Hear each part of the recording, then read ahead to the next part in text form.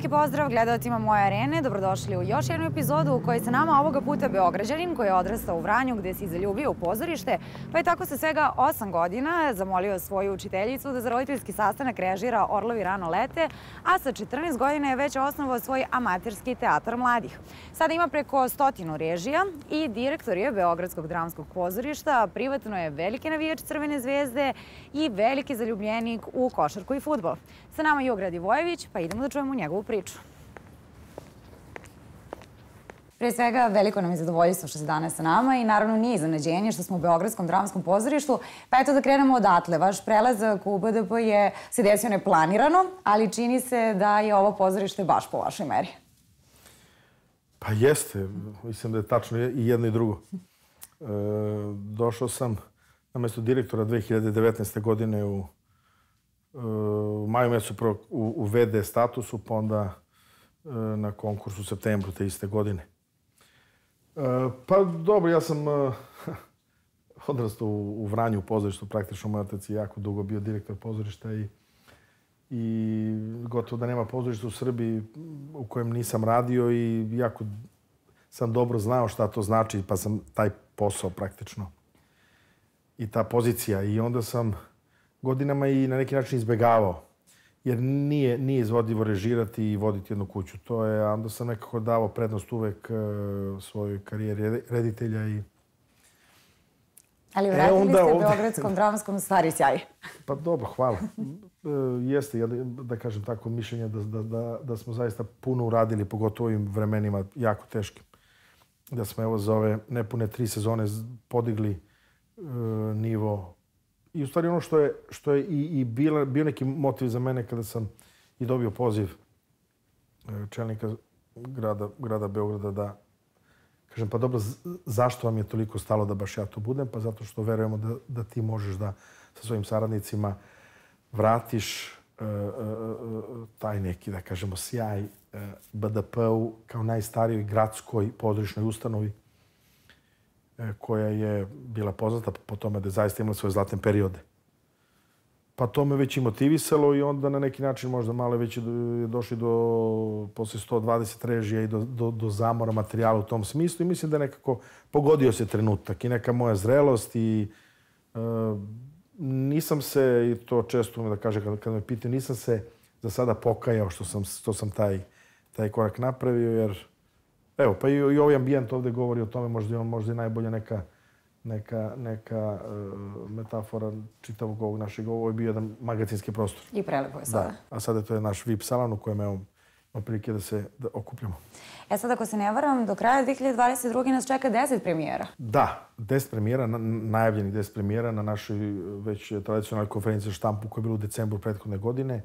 Uh, za ove uh, praktično, da kažem, evo, računajući pola, pola 19. godine, 20. u 21. 20 premijera smo napravili, kažem opet u jednim uslovima koji su bili jako teški uopšte za, za, za opstanak teatra. A u ovoj godini nekako čini mi se, bez obzira što smo radili jako, jako važne i kvalitetne stvari u prethodnom periodu, da ćemo ove godine imati jedan izvanredan sastav i reditelja koji dolaze i komada koji će raditi, i glumačkih podela.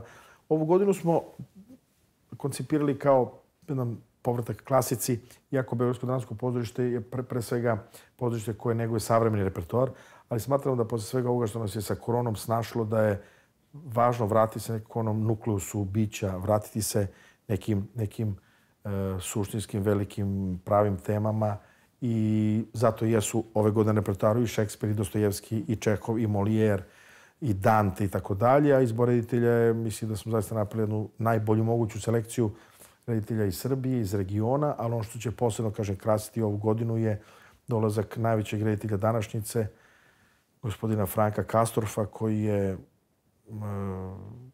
pa da kažem, posljednjih 30 godina najznačajniji rediteljsko ime Evrope. I svakako pozivamo gledalci da dođu u Beogradsko dramsko pozorište, a ono što je meni bilo posebno zanimljivo su godišnje ulaznice, što ste prvo uveli. E sada to je karakteristično za recimo futbolske ili košarkaške mečeve. Da ste možda crpili inspiraciju iz toga, pošto znamo da ste veliki ljubitelji sporta. Da, dobro, ima i toga. Mada moram da priznam da, da uh, ozbiljne pozorišne kuće u, u, u Evropi to već praktikuju dugo. To su takozvani oni abonmani koji su, to su te predprode u kojima se u kojima se publici pruža prilika, ali vi, vi to možete da radite samo kada imate praktično na, na vreme koncipiran godišnji repertoar, što kod nas često nije bio slučaj, tako da vi ne možete da, da prodate nešto publici koja ne zna ni šta je očekuje i šta može da vidite godine. Mi smo zato na vreme objavili ceo naš godišnji e, plan. Mi smo uh, pet meseci repertoara igrajućeg takođe objavili, uskoro ćemo objaviti ovu drugu polovinu godine. Tako da je publika mogla da, da, da ima, da ima jedan, uh, jednu informaciju o tome šta može da vidi u BDP-u i to je verovatno isprovociralo mnoge da, uh, da kupe u, u, u, u toj, da kažem, predprodaji naše standard kartice i VIP kartice koje su, da kažem, kao što obično biva prve prodale kada se kada su događaji i po, po pitanju kulture i sporta znamo da su to uvek naj, najtraženije ulaznice. E, kada smo već kod sporta, kako je ovo sportska emisija, naravno nije, pričat ćemo još malo o glumi i režiji svakako, ali da vas vratim ja u detinjstvo i negde sam pročitala da su vam prve sećanja a, daske pozorišne ili oni sprejevi s kojim su glumci beleli kosu ili e, lakovi oni mm -hmm. za mhm. brade i brkove da. s kojim su lepili. Pa eto, to vranje i to, to odrastanje, kako je izgledalo? Pa jedno divno idilično vreme. To je period, ja sam rođen 72. godine i, i, i u Vranju živeo praktično od onih teških godina do, do 91. kada sam upisao fakultet, ali tih 18 godina života, života u Vranju je jedno, jedno, jedno divno sećanje na, na jedno vreme pre svega, a onda i na ambijentu u kojem se živelo. Mi smo, da kažem, otišli, roditelji su otišli u Vranje da pre toga nisu ni, ni bili u tom gradu. Sticam okolnosti, otac je prijavio na taj konkurs koji je bio raspisan za direktora Doma kulture ondašnjeg i tako dalje. Tako da smo stigli, stigli u to divno mesto i, i naravno da kako su roditelji bili vezani za pozorište, tako smo i sestra i ja, kad smo došli u Vranje, sestra imala dve godine, ja dva meseca, naravno da smo mi u pozorištu provodili vreme koliko smo ga provodili i, i kod kuće. Tako da je, da je sve to što, što je vezano bilo za rad na, na predstavama i tako dalje, to jesu moje prva sećanja. E, kako se predstave rade u fazama, pa je prva faza, prvo se čitaju ti tekstovi u jednoj prostori, za stolom. Moje su prva sećanja za, pošto su u to vreme se radili velike predstave, bilo neko vreme kada je sve to moglo, pa bilo puno učesnika. Ja, ja sam pamtim te veliki sto gde sede glumci čitaju i oblake dima to su, svi su pušili, naravno. To, ja pamtim te, te oblake dima kao nešto jako neprijatno i zato verovatno nikad nisam ni, ni pušio između ostalo zbog toga. Da. Ali onda u drugoj fazi kada se spuštalo na scenu, onda taj, te, te daske po kojima se igra su bile nešto što me naravno, što mi je bilo vrlo interesantno. E, ta podloga prosto na kojoj se... Ne kažu bez razloga da, daske koje živo koje Živo znači, da. I onda, a s obzirom da sam sa dve godine i zaista stao na scenu, igrao, igrao dve predstave. Šetali me i pronosili kao neko dete koje je u Tašani Boris Stankovića i u predstavi za decu Snežani Sem Patuljaka, jednog od Patuljaka, ali zaista sa dve godine postoji fotografije. Tako da ovaj, jedan, jedan, jedan period života koji je me u stvari i formirao naravno i, i trasirao neki, neki put i nikad se kad smo već kod toga, da li bi se pokajao za ovo, e pa ne bi se pokajao ni za to što su roditelji doneli tu odluku da iz Beograda odem u Vranje. I na kraju ja sam se opet vratio u Beograd, ali taj period, period života je izuzetno bio značajan odrastati u takvom gradu u kojem smo mogli da imamo jedan, jedan mir, da imamo jednu koncentraciju na porodicu i na neki kasnije i profesionalni razvoj. I vi, sestre, ste umetničke duše, ali vi niste zapostili ni sport. Ako se ne varam, tada ste trenirali rukomet. Otkud rukomet? Pa zato što je rukomet bio naj, najpopularniji sport u Vranju. Vranje nekako sa svojim futbolskim klubom Dinamo nije imao sreće, osim u jednom kratkom periodu, ali e, košarka takođe, čak klub koji se zove Jug, što bi bilo interesantno, ali, ali ovaj, takođe jugu, nekako jugu. nije funkcionisalo, da. Ali rukometni klub je imao jedan, jedan, jedan e, nivo u to vreme kvalitetne lige Srbije i tako dalje. I onda smo mi kao klinci, gledajući prvo utakmice koje su se igrale dok se hala nije napravila, igrale su se o, nedeljom u podne na, na betonskom uh, terenu. I to je onako dosta izgleda onako gladijatorski, jer sećam se kada pivotmeni ili krila skaču, padaju po onom betonu. To danas deluje neverovatno, ali to tako bilo. I ja sam u periodu negde od uh, nekog četvrtog, petog razreda osnovne škole pa do prvog, drugog srednje bio veliki zaljubljenik i u rukomet i vredno trenirao i tako. Nisam bio posebno nešto baš talentovan, ali sam imao neku veliku želju. Međutim, onda, naravno, kad je došlo vreme da se, da se lomi, jer već je pozorište postajalo moja, moja nekako, moje, moje interesovanje ozbiljnije, već u srednjoj školi. Završavao sam i nižu muzičku školu, svirao violinu. Onda i rukomet nekako je morala jedno po jedno da počne da otpada. E sad, pošto ni, niža muzička tih šest razreda je, je završeno, E onda u toj nekoj dilemi je sad pitanje da sam možda bio, ne znam, odrastao u Beogradu, nekom većem gradu, gde bi neka perspektiva u tom smislu bila. To je pitanje na koju bi se stranu negde ovaj, e, odlučio, ali ipak je u Vranju imalo mnogo značajnu tradiciju i od rukometa i nekako samo se od sebe. Nisam ja nikada sa roditeljima razgovarao na tu temu šta mislite, šta bi trebalo, niti sam ja. To je neko, kao što sam spontano birao to da ću svirati instrument, da ću ići na rukomet. Nisam ja, to, to je nekako, ima, ima sam tu slobodu kod, kod roditelji, to neku ne, podršku, bio sam odličan đak, Vukovac, tako dalje. Oni su imali apsolutno poverenje, šta god bi ja tu nešto smislio, zamislio, Može. oni su rekli u redu je, to je tvoj, tvoj izvor, verujemo u to što ti biraš. E sad, koliko ste pratili rukomet, 90. su bile plodonosni za Zvezdu i za Partizan u to vreme? Ja sam naravno, ne, ja sam prvo između ostalog i zato i krenuo da treniram rukomet, jer je metaloplastika bila uh, ekipa koja je 84. 5. 6. godine, kada sam ja imao te, da kažem, godine kada sam to i krenuo da treniram, je bila čudesna. To su, kako su ih onda i španski mediji posle druge titule protiv atletika i nazvali da su to šabački vanzemaljci. To su bili, to su bile moje po, po, potpuni idoli Veselin Vuković, Veselin Vujović, Mila Isaković da ih ne rećem.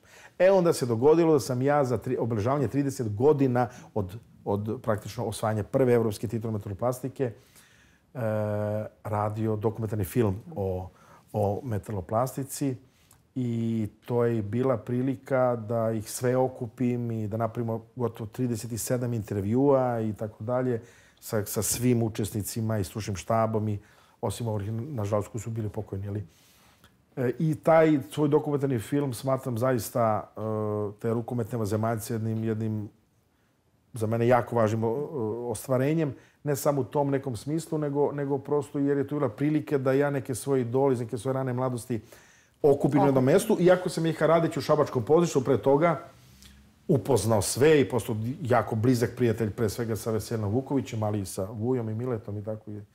Uh, sećam se da kada me zvala bila je nova upravnica Šabačkog pozorišta, Marijana Isaković, e, koja je profesorica u gimnaziji Šabačkoj, koja je došla na mesto e, direktora pozorišta.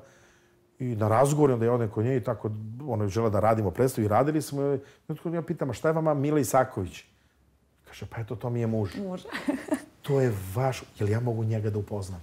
To je meni bilo važnije od projekta i od svega. Od svega. Kaže, kako da ne dođi Mile da upoznaš Juga? I tako dalje. U stvari, ja želim da upoznam Mileta. Tako da, ovaj, eto, to, to, je, to je sigurno i naravno preko metalplastike, onda i, i sa drugom generacijom uh, rukometaša koji su onda predvodili kasnije i Peruničić, a pre toga dobro i, i Škrbić Butulija i Neđe Jovanović i tako dalje, tako dalje.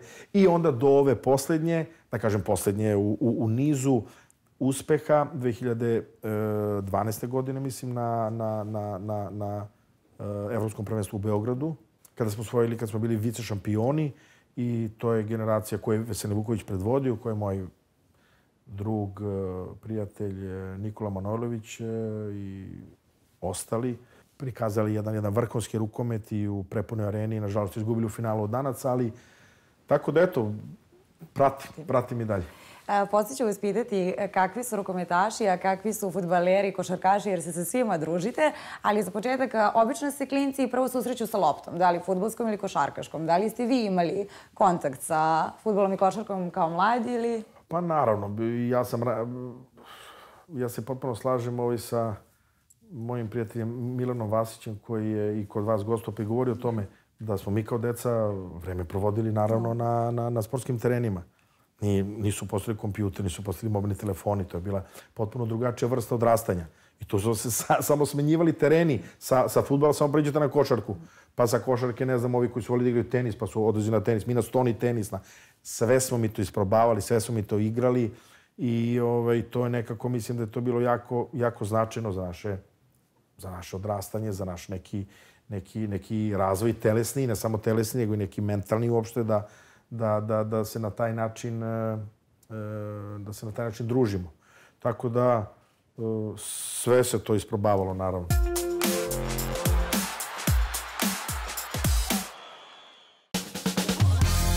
Zašto igram?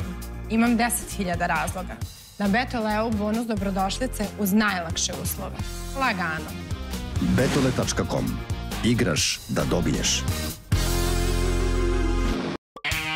Igraj slot kazino i na sve igrice sa spin zvijezdicom dobijaš duplo više bonus spinova.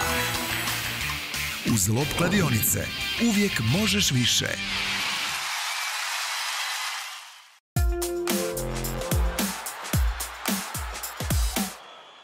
Veliki si zaljubljenik i u košarku i u futbala, hajmo od najvažnije sporedne stvari na svetu. Pa koje generacije crveno-belih pamtite? Onako, prvo kada ste zavoleli zvezdu i šta ste pratili? Dobro da kažem Ili da nekako da uh, odrastanje u Vranju je podrazumevalo da se pre svega sluša, da se sluša vreme razonode uz radio program ovaj, Beograda 1 E, I to je bilo nešto što sam ja onda mogao samo slušajući, a to je negde krenulo negde 80. godina, početkom 80. da ja uh, zamišljam više nego što, nego što mogu da vidim.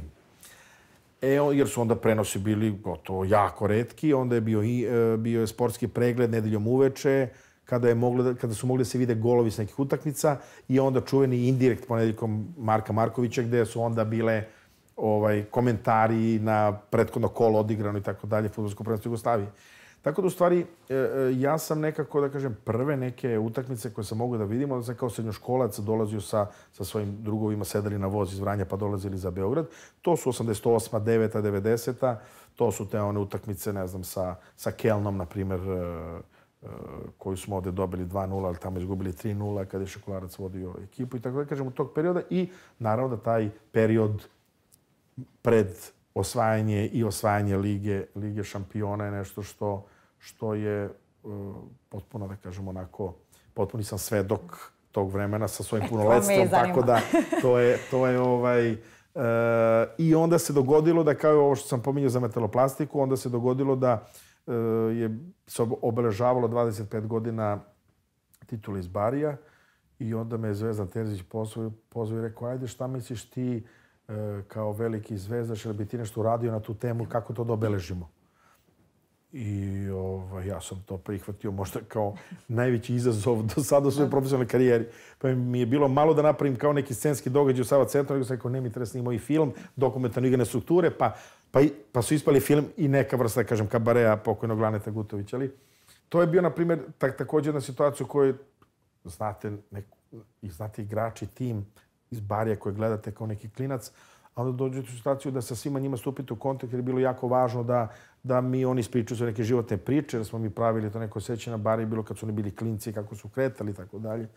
I to je bilo divno iskustvo i mislim napravili smo stvarno jednu zanimljivu, zanimljivu stvar. I da kažem, taj nekako, taj moj e, čitav događaj koji sam organizao svojim saradnicima i sa naravno ljudima iz kluba, me na neki način preporučio da uđem malo i u strukture kluba. Kako sam te bio, da kažem, navir, e sad sam navir, a od 2017. godine, 16. 17. sam i član upravnog odbora. A Što je onda, velika čast, ali i odgovornost. Jeste i pogotovo u ovom periodu, ja se često šalim s njima, ja kažem, eto, vi ste sve tu stručnjaci E, futbalski uglavnom, a da ima naravno tu i lekara i profesora i tako dalje, ali kažem, eto, dok ja nisam došao, nije krenulo to kako treba. E sad, kad, su, kad, su, kad je Bari u pitanju, nekako su navijači a, i toliko u tome koliko i futboleri. Pa zato što je to, to je događaj za, za, za, za uvek. To je događaj koji bile su naravno utakmice koje su bile velike, koje su, ali nekako to je, vi ste zlatnim slovima upisani i to je nešto što je nemerljivo sa, sa, sa čak da kažem sa nekim i drugim životnim rad, radostima kada stavljate na tas pa, pa će uglavnom to da prevagne. Šta je najveća radost u životu? Osvojena titulu bari. Tako da jeste, mislim, to je, to je, to je zaista... I, i moj jako dobar drug Vlada Stošić koji je takođe ovaj, Vranjanac i jako, ja nisam rođen u Vranju, ali sam govorio sebe da, Vranjanac jer mi je to rodni kraj. Došao sam kao beba tamo pa ali mi je Vlada Stošić u našim druženjima često priča te razne situacije, anegdote i sve to, kako se to sve pripremalo, kako to izgledalo i kako je. Tako da, u stvari, pogotovo pravići taj film, imao sam dosta, dosta informacija, ali je činjenica da, da, je, e, da je to nešto što pitanje da li će ikada i koji klub sa, sa ovih prostora moći da, da ponovi, nažalost, jer se mnogo toga promenilo u, u svetu sporta i uopšte u, u modernom društvu. Spomenuli ste Zvezdana Terzića, stekli ste dosta prijatelja a, tokom navijačkih dana u Zvezdi. Kada sednete, ili više pričate o crveno-belima ili o glumi? pa dobro, on je uvek, da kažem, mojim prijateljima u klubu je, naravno, i, igračima i tako dalje, i stafu i, i nama u, u da kažem, upravi kluba. Uvek je zanimljivo da, da, da ove, da kažem, čuju neka moja iskustva s ove strane.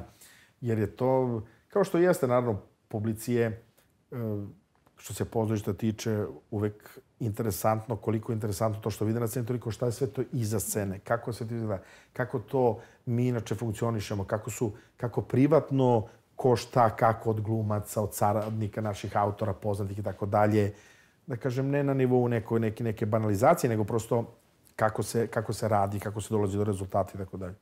Tako da ovaj, ja sam česta, česta ovako ovaj, inspiracija. česta inspiracija, da pogotovo kada, kažem, imam neka, neka, neka duža putovanja, pa onda oni sve to vole tako da, da, da od mene čuju, ali su s druge strane zaista i bi, da kažem, postali, iako su neki bili, ali pogotovo u ovom periodu, e, ljubitelji pozorišta i nas umem često da, da dugostim naše, naše ovaj, sportisti i tako dalje. Moram da kažem, na primjer, jedan od, od onih koji je zaista, ne samo ljudi, nego poznavate, na primjer, Mića Ivanić, koji je, koji je redovan ovde gotovo na većini naših predstava i koji sa takvim, sa takvim interesovanjem sve to prati i gleda i, i onako baš ovaj, jedno, jedna, jedna, jedna lepa priča je da. E, družite se i sa Dijanom Radonjićem i onda da pređemo na košarku, pa koliko vas je radovalo ovo finale Kupa Radivoja Koraća, pogotovo što je preko puta sedeo veliki Željko Obradović? Ma ja Dejana Radonjića zaista, mora da kažem, toliko volim i poštujem da, da to je, to je, da kažem, jedno, jedno drugarstvo, jer prvo mi smo i komšije tu na, u kraju na, na Vračaru, a drugo, Dejan je došao, došao u Zvezdu i onda je imao onaj period kada je imao na neka dva, tri velika poreza u Euroligi, e, po 30-50 razlike, ne znam, vezali su se Himke Real i mi se nismo poznavali. Ja sam njega sreo na ulici, ja sam uh, mu prišao i rekao, vidi, uh, ja bih da se, da se upoznamo, ja sam taj, taj, tako dalje. Samo bih, samo želim ti kažem, ja toliko verujem da ćeš napraviti fantastične rezultate, samo nastavi, da, nemoj da te pokolebaju komentari, verovatno sve ti to znaš, ali prosto to ja imam potrebu da ti to kažem. Samo gura i dalje. I nekako mislim da je, da je njemu tu kod Kalinić pijace smo stajali na ulici i njemu je to, imam utisak da mu jako, jako značila ta podrška i od tog trenutka mi nekako svaka utakmica nadalje je uvek bila kada Dejan uđe i sedne, on neko meni mahne, vidi me preko puta, ovaj, sada sam nešto još bliže, bliže klupi, promenio sam poziciju, pa nekako se, kažem, ja osjećam kao deo deo, deo tog, tog, tog ovaj, njegovog, njegovog tima, ali e, pa fenomenalan stručnjak, fenomenalan čovjek, jedna, jedna skromnost koja, kojom on, a s druge strane odiše, a onda jedna studioznost. I pa on je napravio ovu zvezdu, naravno, uz igrače, uz Nebojšu Čovića, uz stručnjake koji su, naravno, prisni u klubu, Neša Ilića, ide, ne ređamo se, ali e, ta posvećenost njegova i ta njegova, ta njegova, ta njegov borbeni duh i to što nekako je napravio tu jednu, je, jednu zvezdu koju volimo da gledamo, koja je koja naravno sa tim najminimalnim budžetom u, u, u Euroligi, ali koja se ne da i pokušaju često neki ne znaju što ne može više, pa sa, sa tim parama to je možda i preko maksimuma, ali zato ono što je za nas naj, najvažnije, ABA liga, kup, domaća liga, To, I ja mislim da to, bez obzira, jako poštujem e, Željka Obradovića i, i, i mislim, naravno, ne treba trošiti reči kakav je stručnjak u pitanju, ali mislim da će imati mnogo muke sa, sa, sa, sa Radonjićim timovima, za, timom, zato što nije pitanje samo da li to ova godina, nego e, pogotovo kako znamo da u sportu je potrebno vreme da se neke stvari stvore, a, a Zvezda je to stvorila i sa Radonjićem na, na čelu će još dugo imati tu, da kažem, strast prema igri, i ja se tome jako radim jer verujem da ćemo biti neprikosnoveni i nadalje. Ostaje mi još kada je košarka u pitanju da vas pitam koje utakmice pamtite, da li zvijezdine ili reprezentacije, pošto se svedoci brojnih uspeha i naše selekcije? U, pa puno toga, jer ja sam zaista, ja ne znam da, da li sam poslednjih deset godina propustio neku, neku, neku zvezdinu utakmicu. Ja inače pravim svoje i profesionalne i privatne rasporede prema kalendaru futbalskom i košarkaškom. I ja onda kad izađe čekam kalendar godišnji, e onda kažem je sad ovako, sad ćemo, što se tiče posla ovako, što se tiče porodice ovako. E sad, ono što ste verovatno milijon puta odgovorili ili ne možemo da spomenemo, koštana. Vama je izuzetno značajno. Pa dobro, to je naravno zato što iz dva razloga. Prvo je što je Boris Stanković omiljeni pisac, što je logično. Da kažem da je Koštana možda i moj jedan od omiljenih, kako ne, omiljeni komad. A stice okolnosti opet što je to bila moja diplomska predstava, da se to se pogodilo u tom trenutku za mene u najznačajnijem teatru, da kažem, jugoslovenskom teatru, jugoslovenskom dramskom pozorištu, to, taj diplomski rad, poznanstvo i sa mojom budućom suprugom Milenom Vasić koja je igrala tu glavnu ulogu. Tako da više stvari me vezuje za taj, za taj period i za autora i za... Ali e, to je... Ja sam radio e, dva puta Koštanu, nakon Jugoslavijskog dramskog radio sam i u Šapcu. Tako da se verovatno očekuje i da se... Mislim, radio sam i treći put kao operu u Narodnom pozorištu, ali je to... E, stvar koja se može čitati svaki put iz početka i ja sam i kroz različite generacije čitao i radio i ne bi me začudilo da u nekom periodu radim i ponovo. i ponovo. Da. Imate preko stotinu režija. Koja vam, je, ne, koja vam je predstava ili film? Šta je nešto što je vama nakon najdraže? Znam da je kliše pitanje, ali... Dobro, i kliše je odgovor da je teško, teško. teško od, odvojiti. Zaista, uh, mislim, ako što se tiče televizije filma, uh, ajde možda tu, tu mogu da kažem da taj serijal koji sam radio, Mala istorija Srbije, nešto što, što je meni bilo jako, jako značajno i važno. A što se samog pozorišta tiče, pa eto, pomenuli smo tu Koštano, pomenuli smo ove, ove muzikle koji su rađeni. Možda jedna predstava koja je u jedno vreme, jedno vreme početkom 2002. godine zvala Veliku buru, zvala se Gola Vera. On, nju sam radio u Teatru Jakoviću u Kragujevcu. To je bila jedna predstava koja, koja je e, i bila jedan, jedan otvarala neke važne teme, imala je jedan, jedan rukopis koji je bio potpuno autentičan. Ona je i gostovala u ovom pozorištu, baš ovdje u Beogradskom dramskom, ali to je možda, jer to je onda Jovan Čirilov koji je imao svoju kolumnu pozorištarija u politici, napisao da u svojoj karijeri nije, nije video nešto što ga je toliko kao gledalca uzbudilo, da kažem, na neki način uznemirilo. E, tako to je bila jedna surova, jaka priča sa nekim jakim e, parabolama i tako, ali to, to bi možda, eto sad, kad vrati film, eto, pre ravno 20 godina.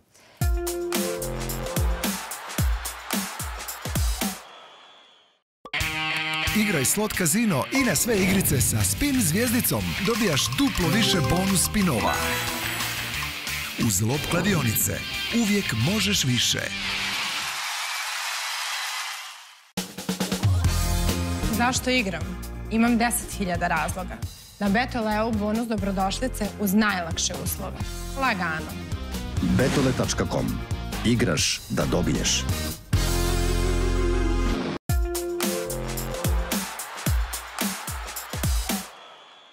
Vreme je da privodimo kraju. Neću vas pitati za planove, ali ću vas zato pitati da li igrate tikete? Pa eto, ne baš, ali kažu da umem da pogađam inače kad E, značilo bi nam da sada pogodite, samo da meni kolega da. A, tiket jer prijatelj naše emisije Beto Le daruje 10.000 dinara u ustanovi koju, za koju se vi odlučite, a ukoliko prođete tiket, ovaj iznos se naravno uvećava. Za početak, Super. kome ide ovih 10.000? Uh, pa evo, kad je humanitarna e, stvar u pitanju, uh, Pa evo da vidimo za, za Tiršu, na primjer, da postoji on, onkološko odeljenje pa za, za decu. Tako da, eto, to bi možda moglo da bude. Evo, izvolite. Da. Ide u Tiršu. Na samom kraju šta da kažemo? Da pozovemo sve gledalce da dođu u BDP i naravno sve zvezdine utakmice. Apsolutno. Ne treba razdvajati jedno i drugo. Čak imamo i popust za, za, za one koji, koji imaju zvezdinu člansku kartu. Hvala sa plaćenom članarinom. Sa, sa plaćenom članarinom. Da. Hvala vam puno što ste bili moj gost. Bilo je uživanje, a vi Hvala. ostanite u Zarenu i vidimo se i sledećeg petka.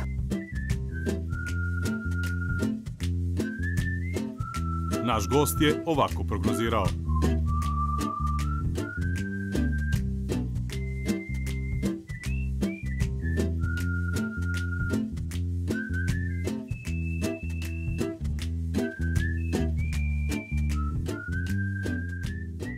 Naš gost u prethodnoj emisiji, Svetislav Goncić, nažalost nije bio uspešan u prognozi, ali naši partneri iz betting kompanije Betole osnovnu sumu od 10.000 dinara po njegovoj želji uplatit će sigurnoj kući Beograd.